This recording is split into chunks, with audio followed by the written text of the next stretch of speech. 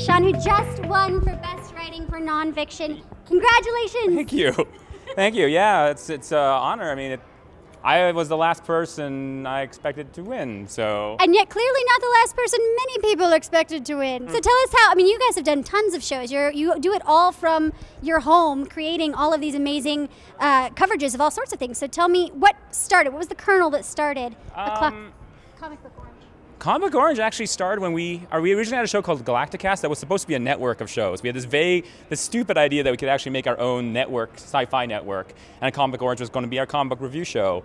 And then we realized, wow, this is really hard work making five shows. So it eventually went down to two, and we were lucky enough the Next New Networks, who are now part of YouTube, actually uh, picked up a Comic Orange as its own show and helped fund it.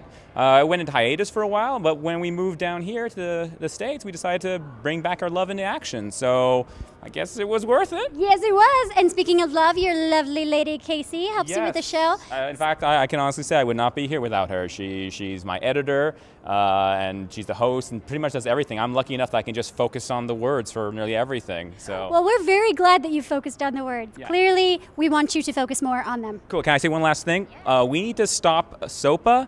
That's the supposedly a bill that believes in stop online piracy, but it's a sham. It really just gives the power into, I guess, what we might call the old media to shut down sites they don't agree with uh, for the merest ability of posting a link to piracy. So call your senator, call your congressman, call anybody to kill the bill. Thank you.